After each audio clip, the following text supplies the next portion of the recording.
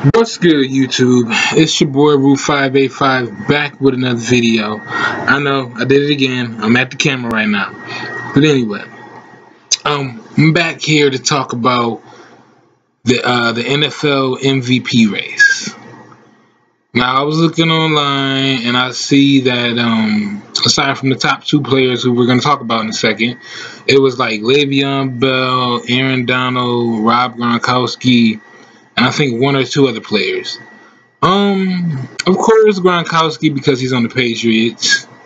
Aaron Donald because he's on the Rams, you know. So I'm not saying that they shouldn't be in the, in the race or whatnot, but excuse me, it's it's obviously two players in the league that everybody's been talking about. One, people have been throwing so much shade at because of the team he's on and because he's only been in the league for a couple years. And the other player, obviously, because he's won Super Bowls. Okay, so we're gonna talk about Todd Gurley first on my Rams, and I'm and I'm gonna explain why I think he should seriously serious, seriously be considered like close behind Tom Brady.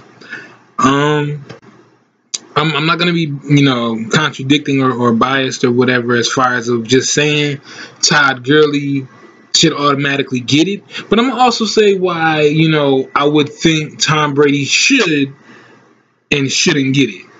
Okay, so real quick, I'm like I said, I'm gonna talk about Todd Gurley first. So obviously, you can see Todd Gurley's been putting up numbers, um, rushing and receiving. You know, I think he lead the league in in uh, total touchdowns, rushing yards from scrimmage, I think. Um, and I think he up there for for receptions for for running backs. I could be wrong about that part, but yeah.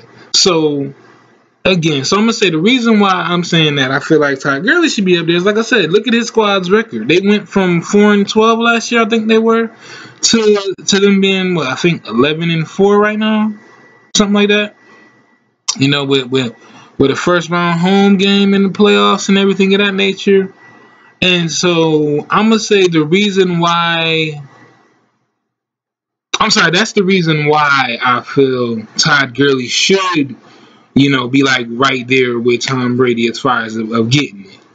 And also, you know, I'm gonna say too, if he if Todd Gurley, you know, um leads the Rams all the way to the Super Bowl you know, he should also still be considered, you know, more I feel like that makes his case stronger or whatever the case or whatnot. Um, that's my, you know, that's that's really my my reasons why I feel like Gurley should get it. You know, like I said, I'm not trying to just say automatically. You know, he's, you know, how people say you got to put the work in. Gurley's been putting the work in. All right, so that was my case on Gurley. Now I'm gonna talk about Tom Brady. So obviously, everybody knows, everybody sees Tom Brady's record. What he's got five rings, so that's obviously above Gurley. Um, of course, the experience and and his performance at the, at his age, at, at, at 40 years old. So again, I'm not discrediting Tom Brady saying that he should just automatically lose it, but I feel like if the Patriots were to get, this is my question to whomever watching this if the Patriots were to get knocked out first or second round of the playoffs and the Rams just so happen to still be in it, should I, I feel like Todd Gurley should really be considered for it. Again, I'm not trying to say Tom Brady isn't garbage as far as if if that were to happen where the Rams were still in the playoffs and the Patriots got knocked out or whatever the case. No, I'm not gonna say that Tom Brady should automatically be knocked out of MVP conversation. No. But like any sport, when a player and his team are are constantly showing improvement in championship, you know, considerations, you know, as far as their team or whatever, and how they're leading their team and all that, I feel like that should go for either player, Tom Brady or Todd Gurley. So, like I said, I'm not trying to discredit Tom Brady.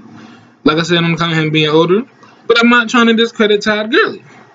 Now, again, they both, both of them, you know, still setting, you know, they setting records and, and like I said, putting up the numbers and all that. But like I said, don't don't discredit my man Todd Gurley because you know, like I said, because it's it's it's a long shot, but it is a possibility that Tom Brady and them can get knocked out of the playoffs, and we're still in it. But like I said, it's also a possibility the Rams can get knocked out, and the Patriots will still be in it.